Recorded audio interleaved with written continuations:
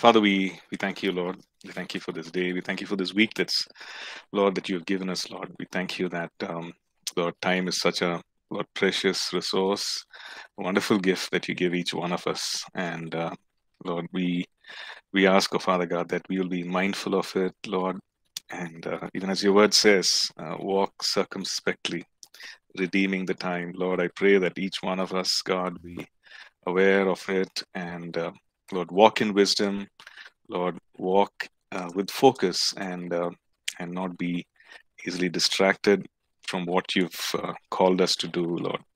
Father God, we we just commit each one of us into your mighty hands. I pray that you would, uh, Lord, speak to us. I pray that you would stir up, Lord, the gifts within us, the call, Father God, and also uh, I just pray especially for those of us who are, uh, um, Lord, who are still asking those questions, Lord, um, what they should be doing and when and and so on, Lord. I just pray that, um, Father God, even as they are at the crossroads, Master, I pray that you would speak, that you would confirm the things that you already put in their hearts. And I also pray, God, for especially for those, Lord, who, whom you've given, Lord, childhood dreams. And uh, God, I pray, let there be, um, Lord, uh, a stirring up, a resurgence of that.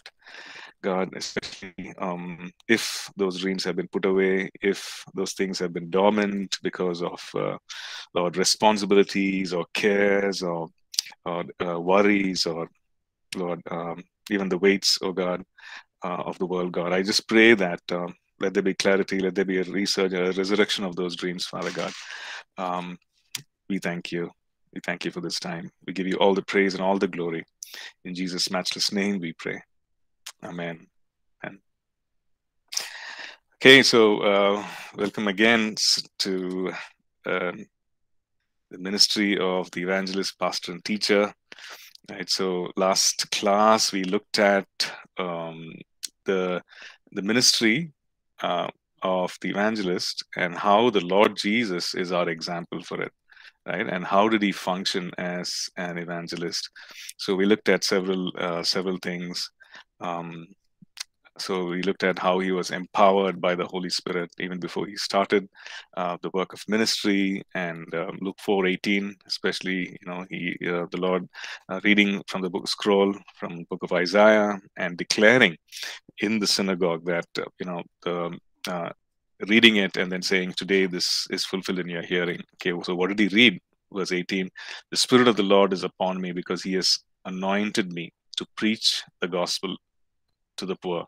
He has sent me to heal the brokenhearted, to proclaim liberty to the captives and recovery of sight to the blind, to set at liberty those who are oppressed. So uh, he literally listed out his uh, mission statement and went on to um, and went on to do it. Right. So he was empowered uh, by the Holy Spirit, anointed, empowered, filled by the Holy Spirit. And then we went on to uh, share the message to varied audiences and um, varied audience. And also um, we looked at the kind of the method that he employed uh, in terms of teaching, in terms of demonstration, and how he went geographically from one area to another, and how he was so passionate to share the, the message of the kingdom, and also uh, the challenges um, he faced. So, knowing fully well that the Lord faced challenges, we will too. Uh, in our ministries and also the kind of support that he um, you know received and uh, and what is really established for us, uh, you know, as minister ministers, a kind of model that is established for us, right? So today. Um, we're going to look at, we're going to continue, uh, and if you're following the notes, we are looking at page 9, chapter 3, and uh, we're looking at uh, the evangelists and how did uh, who were the evangelists in the early church? And how do they function? How do they minister? And so on. So we look at a, a, a couple of terms before we start uh, going into that. Okay uh, uh a couple of uh, i mean at least three greek words. The first one is the word evangelion. Okay evangelion which means a bearer of good tidings. Okay? evangelion a bearer of good tidings. It's talking about the, the person, one who's carrying or one who's bearing the good news. And and uh, of course, it's about the person. And uh, this word is used uh, 50 uh, at 50 times in the New Testament. So we see it uh, occurring uh, over and over again, right? And another Greek word is um, there is a, a, spelling mistake here. It should be uh, U O double G E L I. Okay, E L I Z O. Uh, euangelizo, uh, which means to preach. So it's the verb. It's the act. So the first word talked about um, the one who carried the good news. The other one says euangelizo, which means to preach, to to actually convey the, the gospel. Okay, so that is used um, 77 times. Um, I don't have the references, uh, but we can we can get that uh, later. So we see that uh, one it's it's a, uh, uh, it talks about the person, the other one it talks about the act, and in both the good tidings or glad tidings uh, is are mentioned, which is the gospel. Okay, so um, so we can say we can infer that the, this ministry, uh, which is the ministry of the evangelist, is uh, about the person who bears good news, who carries good news, and who who preaches the gospel, which is the good news, right? Um, so uh, another word that we see is euangelistus, which is the title evangelist. Okay? Um, so this word is used thrice in the New Testament euangelistus. This Greek word is used thrice. First one, first time in um, Acts uh, 21 and verse 8, um, where we see Philip referred to as the evangelist. Okay, so um, 20, Acts 21 and verse 8, maybe we can turn there um, and look at that uh, verse. So this is Philip who was one of the seven who was chosen to take care of the administrative duty of um, of distribution of food to the widows. And um, so we see that uh, he is mentioned uh, you know we see him mentioned in acts chapter 6 and then acts chapter 8 and also here we see in acts chapter 21 and verse 8 um, let me read.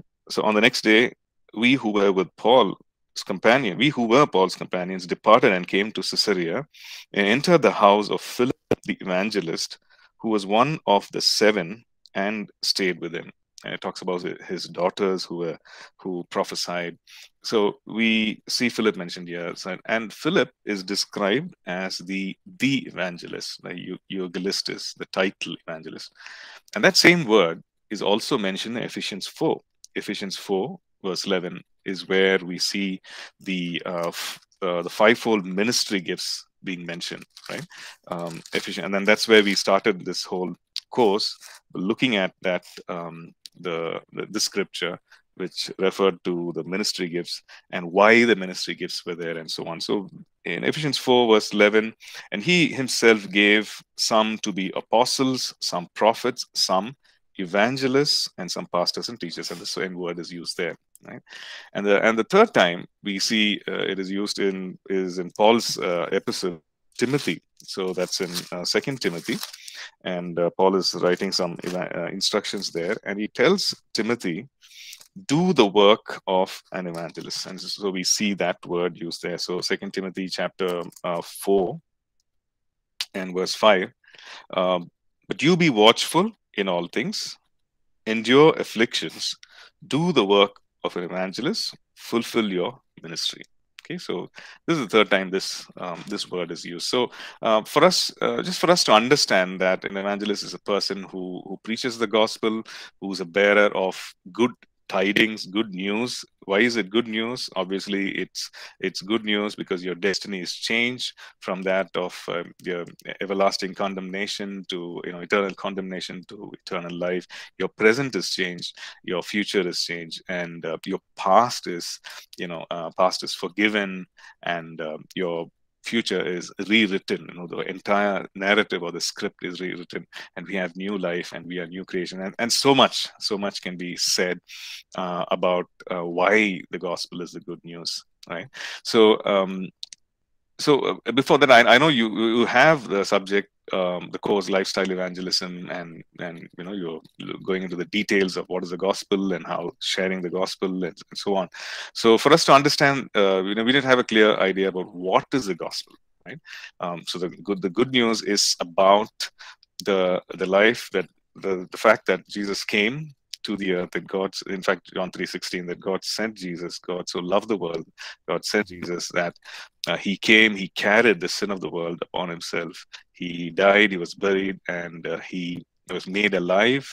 And um, now we don't have to carry sin anymore. The, the, the sin was broken, um, Satan was defeated, and uh, we have the we have received the full benefits of the finished work of the cross. Now, uh, uh, another way to you know just to look at, but uh, we see that that is uh, that is really the gospel, right? That in essence is the gospel, and so. Uh, evangelist, an evangelist is a person who carries that, who shares that, right? Um, if we look at um, uh, the New Testament, if we look at the Gospel, uh, then we see that, yes, the disciples of the Lord Jesus were probably the earliest of the evangelists, right? Uh, during the earthly ministry of the Lord, he, he called some to be his disciples, uh, to be his inner circle. And he, the reason is that they might be with him, they might follow him, they might be around him, and that he would send them out Okay, uh, it's interesting to see that uh, order, but both are mentioned uh, in Scripture, right? That they might be with him, not just be around him, not just hear his uh, teachings, and not just be around Jesus or go go with Jesus. You know, not just go from meeting to meeting and uh, and listen to wonderful messages and look at the wonderful things that that he was doing and uh, and be overwhelmed by it and say wow but also uh, that he would send them out to do the very same things right so um, so that's important now we see here in mark chapter 3 and verses 14 and 15 okay mark 3 14 and 15 if you have your notes um, or do not, you can just look at the chat. Mark chapter 3, verses 14 and 15. Uh, let me read. And he appointed 12, referring to the Lord Jesus, that they might be with him and that he might send them out. And he goes on to say what he's sending out, sending them out to do. And you see, that is the, the very thing that he did, right? And the very thing that he was doing. Okay. So the evangelist uh, is doing the very thing that the Lord Jesus did or is doing. Right. Um, so I mean, it's it's an awesome privilege. It's it's also you know if there's has anyone anyone has any doubts about okay what should an evangelist do? This is the thing that it's the ministry of the Lord Jesus. Right. What is it? Uh, verse 15 um, sorry verse 14 that he might send them out to preach and to have power to heal sicknesses and to cast out demons. So we see the preaching uh, of the good news being mentioned there. We see the demonstration of the power of God in healing the body and minds of people. Here, of course, it's specifically, you know, talking about healing. And then it also talks about, um, you know, things of a spiritual nature, bondage of a spiritual nature. So it talks about deliverance, right? To cast out demons, demons who were oppressing, demons who were um, uh, creating all kinds of problems and challenges for um, for the believer or for the unbeliever, right? To do that. Okay, so Luke chapter nine. Here, I mean, it it it's talks about the same thing. So Luke also records for us uh, Luke chapter 9, 1, 1 to 6. Um, then he called his 12 disciples together and gave them power and authority over all demons and to cure diseases. He sent them to preach the kingdom of God and to heal the sick. And he said to them, Take nothing for the journey, neither staffs, and other instructions, right? About uh, what to take and what not to take, and uh, where to go, how long to stay, etc. Okay, so they departed and went through the towns, preaching the gospel and healing everywhere. So the instruction here uh, is uh, is calling the twelve. Uh, this is obviously after he had called them, and they had, they were with him. Now he's sending them out, and he gave them something. Right? He gave them power and authority. He gave them power and, uh, and authority. He gave them dunamis and exousia. You know, that's those are the Greek two Greek words used there. Dunamis and exousia. Dunamis meaning the the raw power, you know, the supernatural power, the uh, power of God, um, or the miraculous um, or miracle working power, right? Transformative power. Now, he gave them power and he also gave them something authority, right? Exousia, delegated authority, right? Not just power, but but the authority. You're going in my name, right? Um, and uh, and and the, uh, he gave them that the permission, the privilege, the authority to. Uh, it, it also means influence, and so on. So um, he gave them the exousia and the dunamis over all demons, and to cure diseases. And he sent them out. Um, verse two: He sent them to preach the gospel of the kingdom and to heal the sick. Okay, so this is what the disciples. So we see the um, even during the earthly ministry, the disciples uh, of the Lord were going and ministering in these in this manner. Right? Uh, let's look at Luke chapter ten. Okay, Luke chapter ten. Uh, we see uh, uh, uh, again Luke recording for us, and this is a bigger group. Okay, after these things, verse one, Luke 10, verse 1. After these things, the Lord appointed 70 others also and sent them two by two before his face into every city and the place where he himself was about to go. Um, verse 8 Whatever city you enter and they receive you, eat such things as are set before you. Uh, verse 9 and heal the sick there and say to them, The kingdom of God has come near to you. Okay, uh, so obviously this was before the cross. So this is the message: the kingdom of God has come near to you. And then we look at verse 17, um, uh, and then of course uh, 10. Uh, Luke Luke chapter 10 and verse 19 uh, is uh, you know something that we go to over and over again. Let's read from 17. Then the 70, 70 returned with joy, saying, Lord, even the demons are subject to us in your name even the demons are subject to us in your name. So that is their testimony as they, uh, you know they return after being sent out okay, after their mission or ministry trip they come back and and this is the testimony. Even the demons are subject to us in your name. So they were able to see firsthand the uh, dunamis and the exousia working in their lives which the lord had you know bestowed or given to them right? They returned with joy and the Lord, this is how he responded. He said, uh, uh, verse 18, I saw Satan fall like lightning from heaven. Behold, I give you the authority, again, to trample on serpents and scorpions and over all the power of the enemy, and nothing shall by any means hurt you. Uh, give you the authority, the exousia, to trample on uh, serpents and scorpions. Let me just uh, quickly check um, if it's the same words, um, exousia and uh, uh, dunamis. Right, so we're looking at Luke chapter 10 and verse 19. Okay, um, just okay. Um, yeah, exousia and and dunamis, right? So you see the same words used there uh, again. Okay, let's uh, yeah. So this is um, uh, this is what so we can say the the early ministry. So we, we see something here. You know, they go with the good news, and the good news was the kingdom of God. You know, the rule and reign of God is very near now. Now you're going to experience that, and uh, and and, and all that he taught them, they went and preached, and uh, so we see here that uh, not only did they preach, they also ministered uh, from uh, ministered in the power that he uh, he gave them, and um, there was also deliverance that was following, and people's lives people were set free, right? Because the demons were obviously leaving um, the bodies of people, and uh, there was much. You know, much much rejo rejoicing, obviously.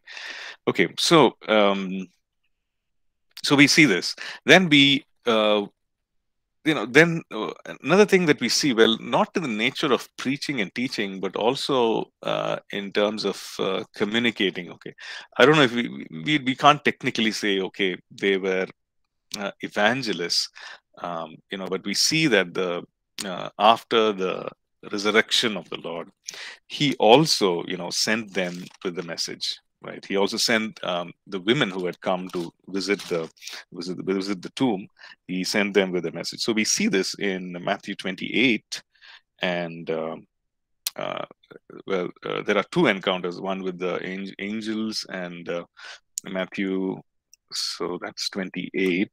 And then we see um, verse 8, and then also um, eight, eight, probably 8, and um, we'll go down to verse 10. And also, yeah, I think that's so um, 28 verse 8 um, so they went out quickly from the tomb with fear and great joy. Okay, so um, uh, this is after the encounter uh, at the tomb, and the angels were there, and they um, and they answered and said to the women, "Do not be afraid, for I know that you seek Jesus," and so on. Right. So they go there, and uh, um, this is what this is the instruction. In verse 7 we see you know he's going before you into galilee. There you will see him. Behold i have told you. So they went out quickly great fear fear and great joy and ran to bring his disciples word so as they went to tell his disciples they have an encounter with the lord again lord behold jesus met them saying rejoice so they came and held him by the feet and worshipped him. And the Lord and the, and the, Lord Jesus, you know, this is what he says. Then Jesus said to them, Do not be afraid. Go and tell my brethren to go to Galilee, and they, they will see me. So we see, uh, you know, the Lord commissioning them with the message of the the resurrection. Go and tell them. Go and tell my brethren. Um, uh, and then we see that in uh, Mark's gospel as well, Mark chapter 16, and um, where uh, he um, uh, they were sent.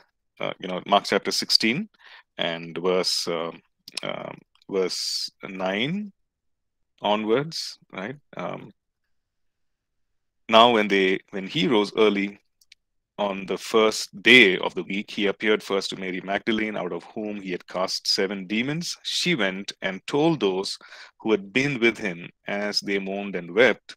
And when they heard that he was alive and had been seen by her, they did not believe, right? And um, and so on.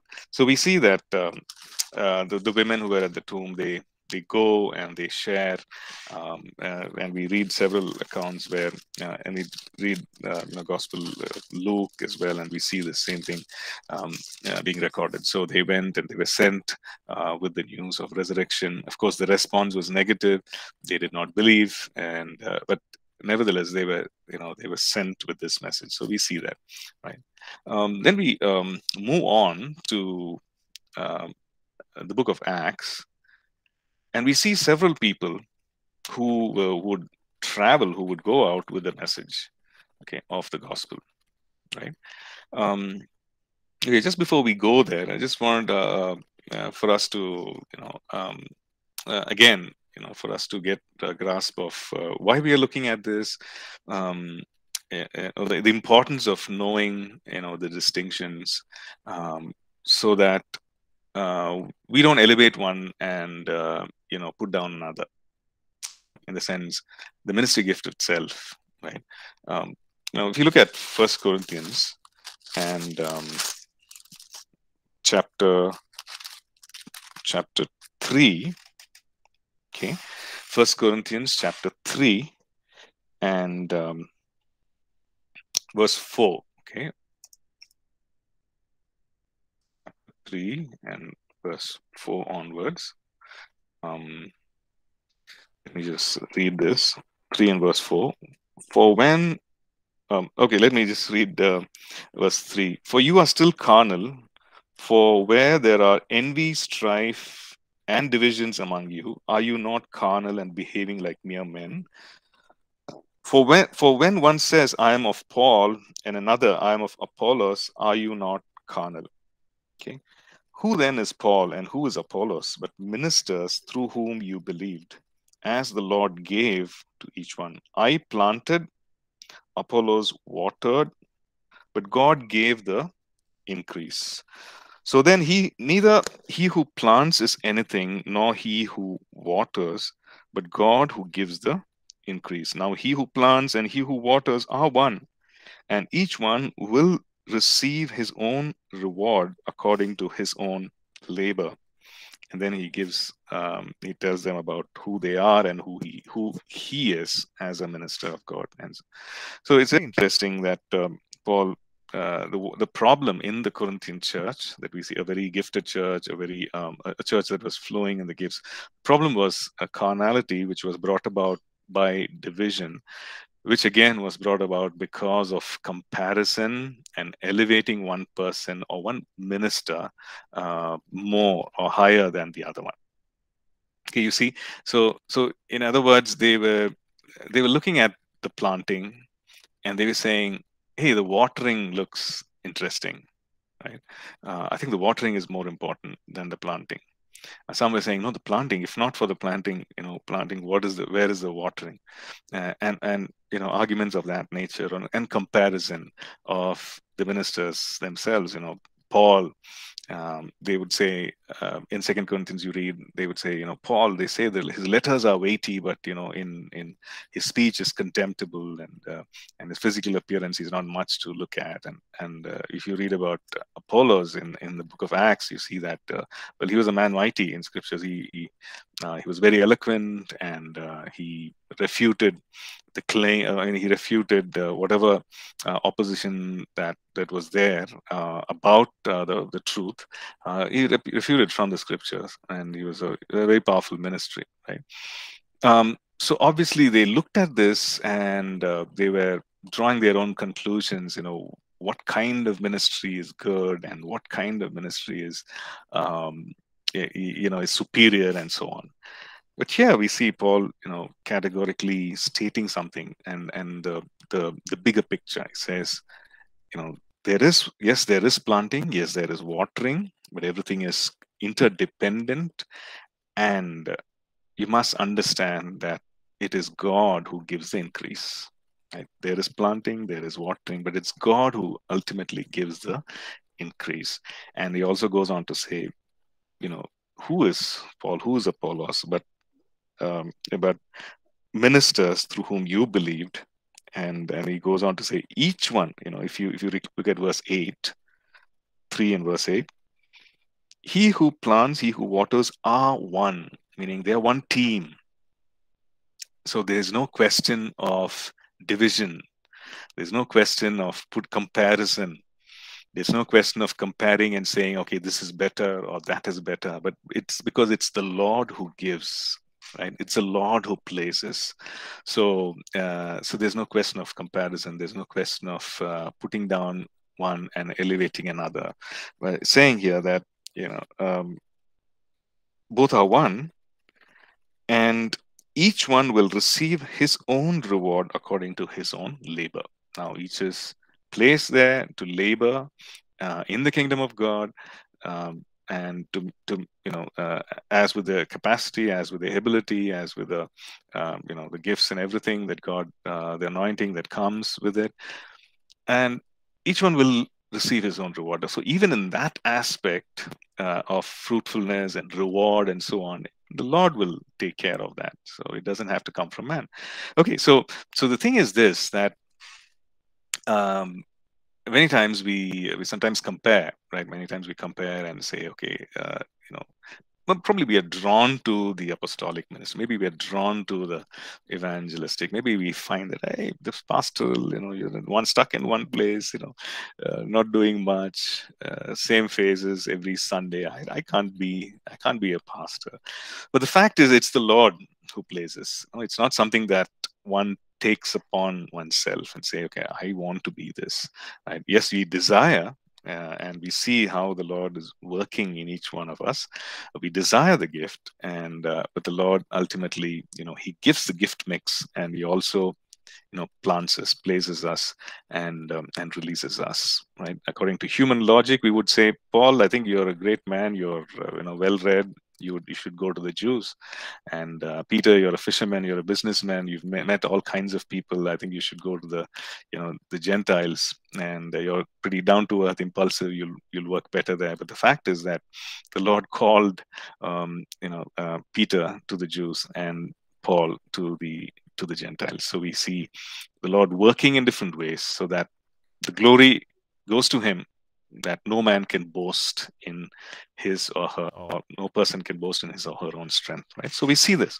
Um, you know one instance that happened in in, in our uh, in as i was growing up and uh, i was in the in a, in a youth group where i met the lord and and in that youth group we we had you know different kinds of people different ages um, uh, different levels of maturity. And i remember one particular conversation that we had because we had we had just finished i think an, an outreach of sorts where we would go you know um, sing songs um, somebody would share a testimony there would be a choreography um, there would be a skit and there'd be a message and uh, you know some you know the typical you know a standard um, you know uh, one of those meetings that we we had. So that is all we knew that's all we did.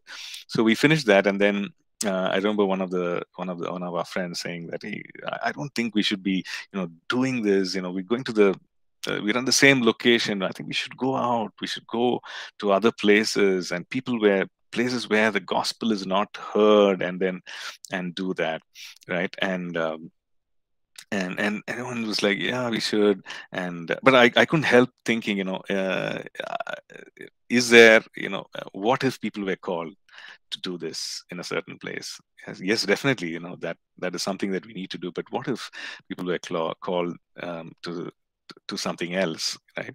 And um, yeah so so we see that um, uh, we when we understand the ministry gift how the lord places and how the lord you know um, uh, or uses uh, each of these for uh, in his kingdom then we will get uh, a better understanding. We will we will uh, appreciate and honor you know each of these ministry gifts because they come from the lord. We will not compare.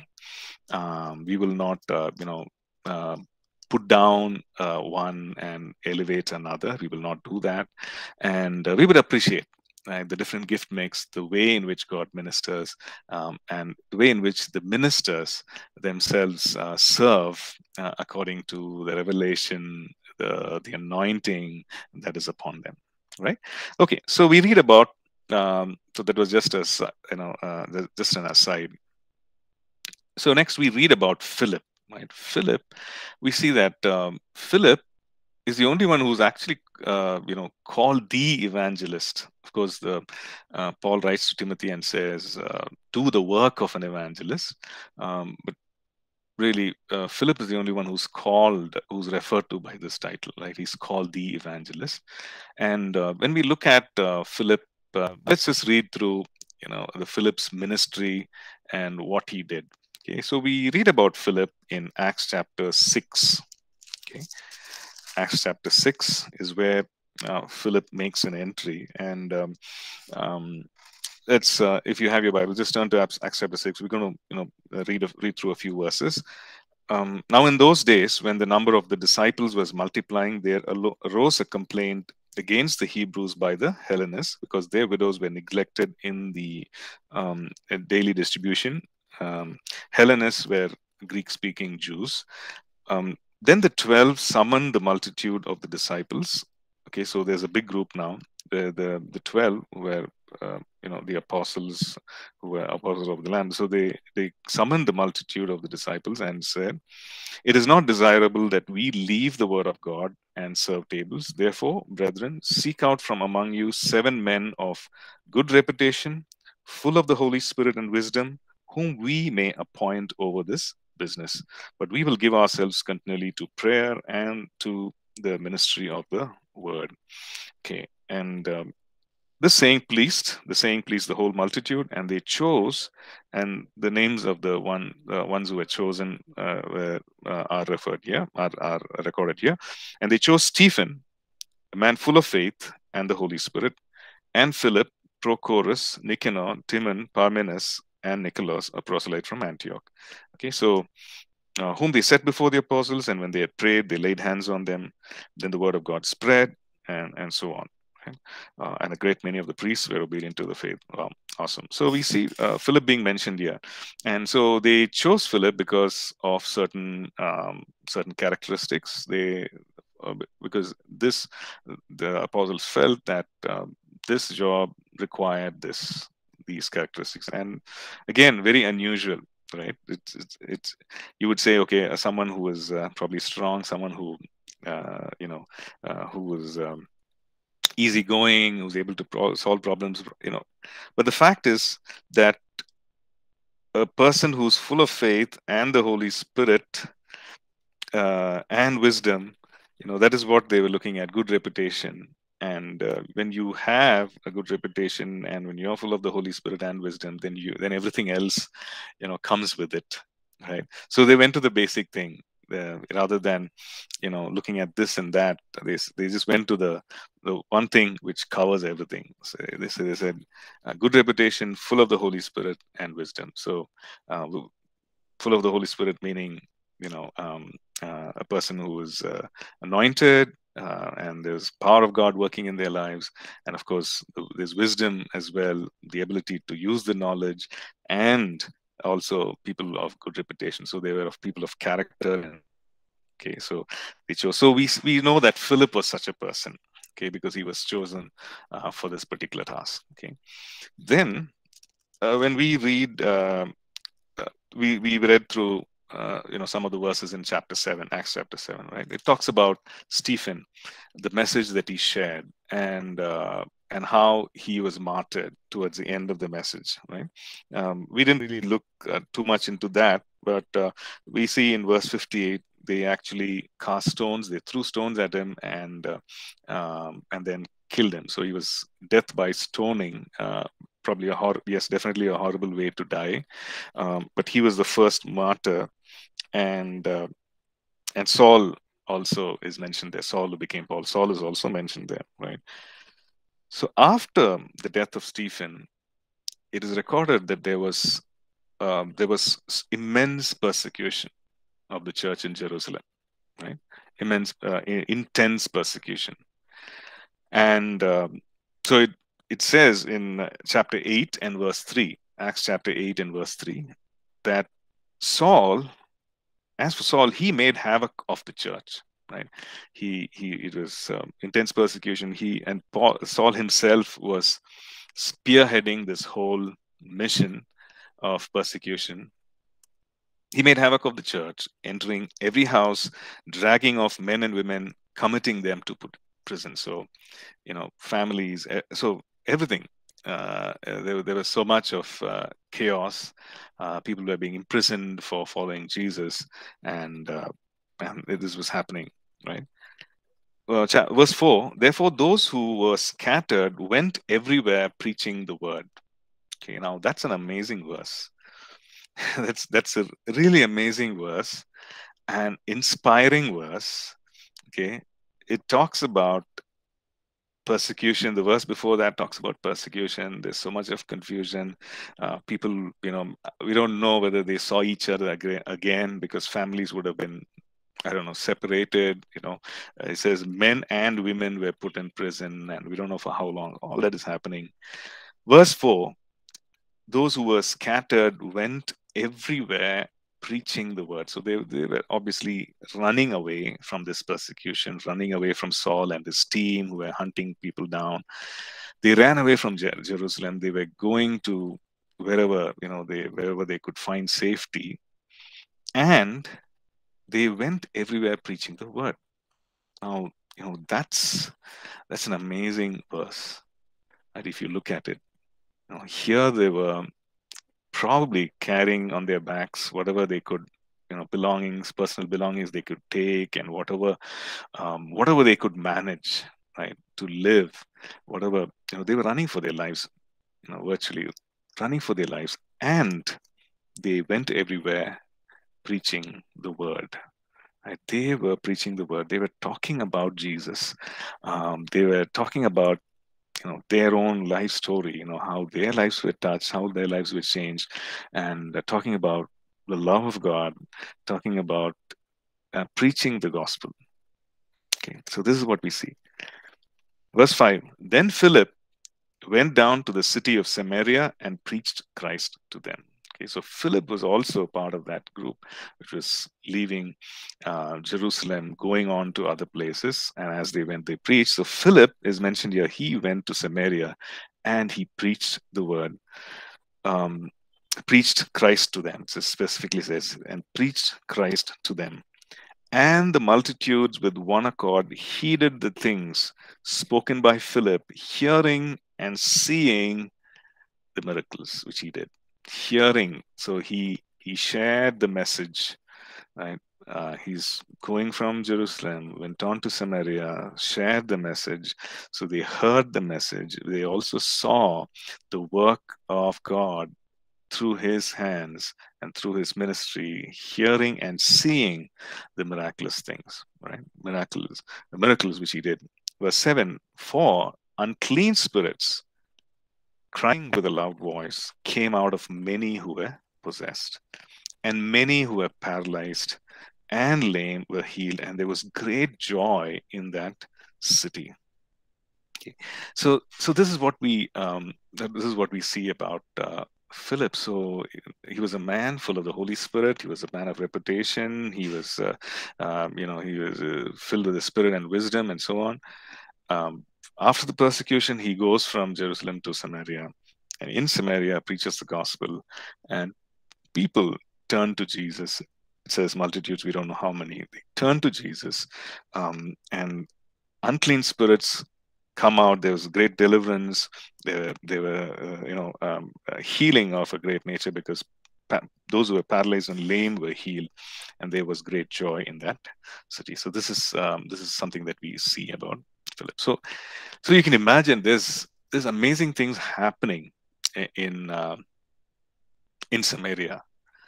Okay, uh, the, uh, it says the entire there was great joy in the city because uh, uh, the powers of the evil spirits were broken. They were, you know, people were delivered, and uh, whatever oppression was there, now they were delivered of it, and there was great joy. Um, then in nine, we nine onwards, we talk, we read about Simon the sorcerer who was there, and uh, and about uh, also the um, about uh, Peter and Peter and John. Jerusalem hears about this, and Peter and John come here to Samaria, and they pray over the people, and they receive the baptism of the Holy Spirit. Now we're going to look at this in detail in a later chapter. Um, I mean, sorry, um, uh, uh, about uh, I think we looked at it, you know, in the first year in the Holy Spirit class when we looked at the baptism of the Holy Spirit. Sorry, I was just suddenly I lost track. But um, yeah, so this is what we uh, we read, and we see something um, again amazing happening that um, uh, uh, towards uh, uh, when we read verse 26. Okay, so this revival in Samaria, people are, you know, and Philip is used of God in this manner. So he goes, preaches, passionate about Christ. People want, you know, need to know Jesus. Preaches, uh, people are getting saved. Now, church is getting filled Right. This is what is happening. Now, the angel of the Lord spoke to Philip, saying, Arise and go towards the south along the road, which goes down from Jerusalem to Des- uh, Gaza. This is desert. Okay, this is uh, uninhabited, an uninhabited, uninhabited place, or a deserted place. Uh, and you look at the the meaning uh, of that word there, um, and so he goes there. Okay, so that's that is what we um, see uh, next that he from this place where there's revival, he's sensitive to the voice of the Holy Spirit, and then he goes to this place, um, uh, to Gaza, and in this specific place where there are no people. So a lot of people, a lot of joy to a place where there are no people, and uh, but he obeys the voice of the Spirit, right? And there, he shares with um, uh, the the Ethiopian official. Okay, so let's read that.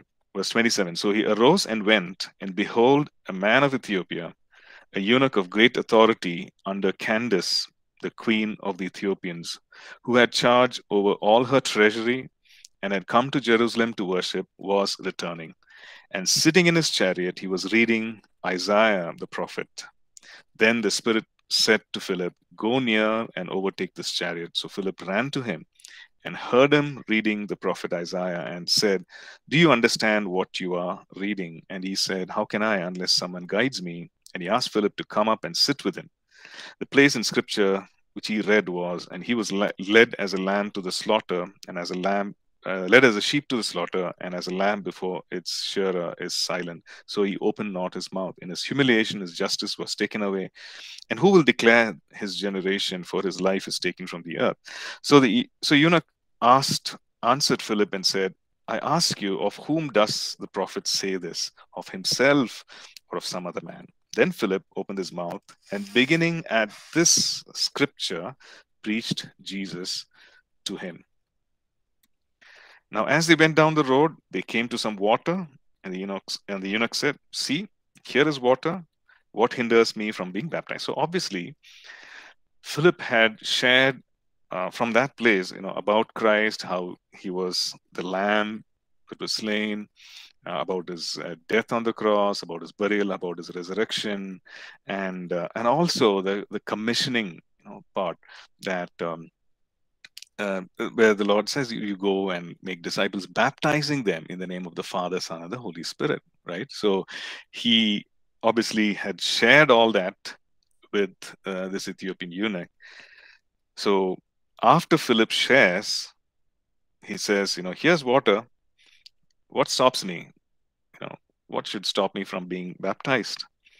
And so he commanded the chariot to stand still, and both Philip and the eunuch went down into the water, and he baptized him. So everything, altar call, baptism, everything is over, right? In that one, um, in that one mes- uh, message, shares the gospel, starting from the book of Isaiah, that particular verse, and uh, and he, the person obviously has opened his heart, is responsive to the gospel, and he says, you know, I want to be baptized, and gets baptized. Okay, so this is uh, uh, uh, this is what we read about uh, uh Philip again, and uh, and then um, we see that um, when they came out of the water, something supernatural happens. Right. So here's a man, Philip, who's sharing the gospel so passionate doesn't mind even if he's persecuted he doesn't mind even if he's running for his lives uh, for his life but he's sharing the gospel. Sensitive to the voice of the spirit doesn't matter doesn't matter you know whether there is one or 10 or 10000 but he will share the gospel right? Uh, so we, we we are learning all this you know from the life of the one who, whom they call the evangelist. So um, so he's sensitive to the spirit and he's going he's sharing and uh, and he's uh, you know he's, whether it's one or you know many it doesn't matter. So he's sharing. So here's the fruitfulness of a life that is so sensitive to the work of the spirit right? So we see that he shares the person gets saved. Then we see something we see supernatural uh, happening in his life. You know, when he came out of the water, the Spirit of the Lord caught Philip away, just like how we read about Elijah and um, you know that instance where Obadiah comes and uh, he speaks to him, saying, you know, uh, and Elijah gives him a message. Uh, to go and take back that message to Ahab. So uh, Obadiah says, you know, you know, this is if I go and say I, you know, Elijah, I saw Elijah, and uh, you know, he wants to meet you. Then I bring Ahab here, King Ahab, and uh, you know, uh, and everything is like. Uh, it's, it's all pretty scary there because uh, just before that there's been a massacre of the prophets in the land so saying you know the king will get very upset you know because I'll bring him here and the Spirit of God would have taken you somewhere. Okay. So obviously they it was common knowledge that such things were happening. And here, um, again, here we see this. It says, um, the eunuch saw him no more, and he went on his way rejoicing. Right? Samaria, great joy in the city. Here, eunuch, he's received Jesus, he's baptized, and he goes on his way rejoicing. But Philip was found as Azotus. He's found in another place and passing through, as was his way in manner, he preached in all cities till he came to Caesarea, okay, which is um, uh, one of the port cities or uh, coastal cities. He, came, he comes to Caesarea, um, which is by the Mediterranean Sea, and um, it says that he came to Caesarea. Okay, so um, we, we, see this, uh, and we and we read that verse that we read earlier, where another place where Philip is mentioned is in uh, Acts chapter 21 and verse uh, 8, right? So we see that he's in a house. He's obviously, uh, you know, uh, Acts chapter 8, we see that they were all young men. And now, obviously, he is, uh, you know, he's older. He's got four daughters, and all of them, he had passed on something to them as well, right? And all of them were prophesying, right? And uh, and so on. So um, so this is what we see um, about Philip. Okay, so we'll take a quick break and then we'll come back and continue with the class. Okay, thank you.